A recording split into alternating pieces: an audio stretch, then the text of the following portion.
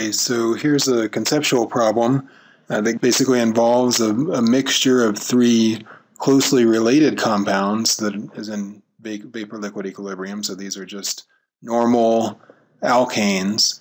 And so we expect that these should form a, a near ideal solution because they should interact with the other compounds. So hexane should interact with heptane pretty similarly to how hexane would interact with another hexane molecule because they have very similar molecular architectures.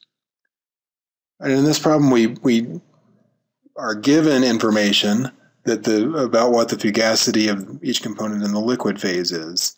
And the fugacity is such that it's 0.33 atmospheres in each of the liquid phases. And you're given information about the boiling points, which follow the standard trend that the larger the molecule, the higher the boiling point. And so then the question says, what component, if any, is present in the greatest total amount or total number of moles in the vapor liquid mixture? All right, so if we're given, in this case, that the fugacity of the liquid, which I'll denote like this, in this mixture is equal to 0.33 atmospheres for all three components. That means that we can write three different equations assuming an ideal solution using Raoult's law. So we know that we're dealing with pressures that are in the atmospheric range. And so we expect that we have ideal gas behavior as we just described. We also expect ideal solution behavior. And so Raoult's law seems like a good assumption. And so we can write for each component an expression of this form. And this term, if you remember, under the assumptions of ideal solution is equal to the fugacity of the liquid component. Right, so the fugacity of the liquid component in the mixture is equal to its mole fraction times saturation pressure.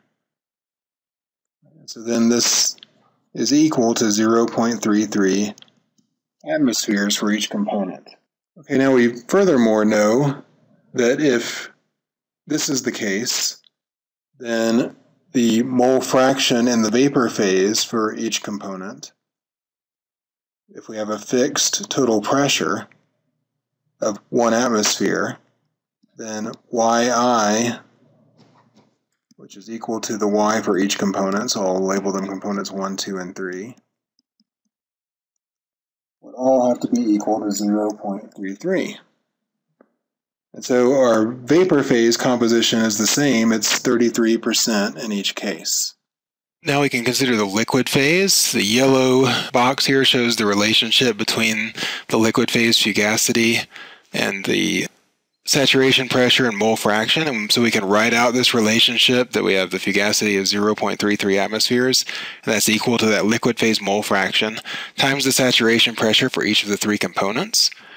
All right, in this case, however, the saturation pressures vary for the three components. All right, of course, when we're doing the vapor phase mole fractions, we use the same pressure for each component, all right, but here the saturation pressures differ, and they differ such that the higher the boiling point, the lower the saturation pressure, or conversely, the lower the boiling point, the higher the saturation pressure. And hexane is our lowest boiling component, so P1 sat is the greatest, and P3 sat is the least um, because it's our least volatile component, octane. And therefore, to compensate for this fact, while still preserving this equality that we have 0.33 atmospheres. All right, octane has to have the highest mole fraction, followed by heptane, followed by hexane, so that we can still achieve 0.33 atmospheres in each equality.